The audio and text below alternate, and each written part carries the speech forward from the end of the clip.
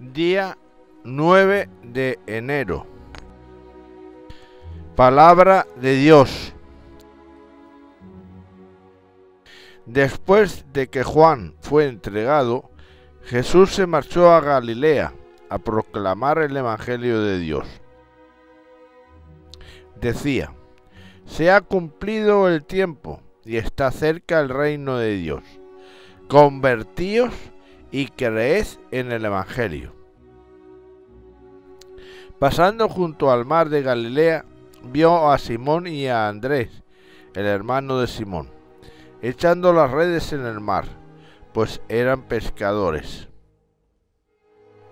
Jesús les dijo, Venid en pos de mí, y os haré pescadores de hombres.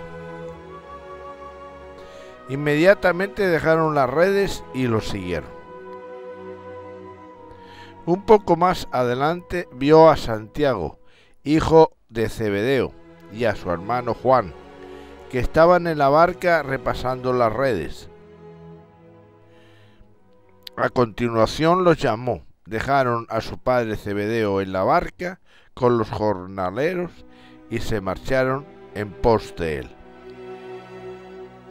Es palabra de Dios.